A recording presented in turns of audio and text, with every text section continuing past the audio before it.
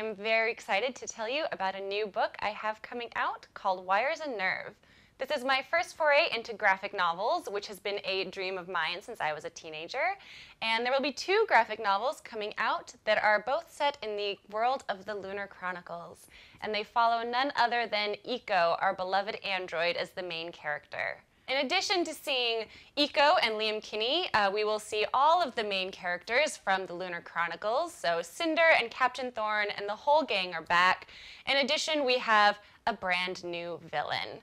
I am so happy to be seeing the world and the characters of the Lunar Chronicles come to life on the page in this format.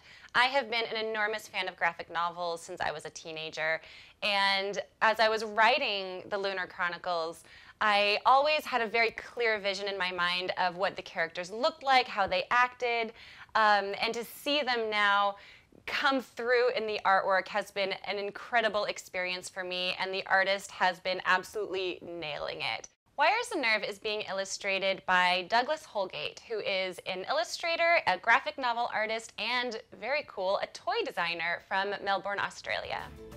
I really hope you guys will enjoy reading it.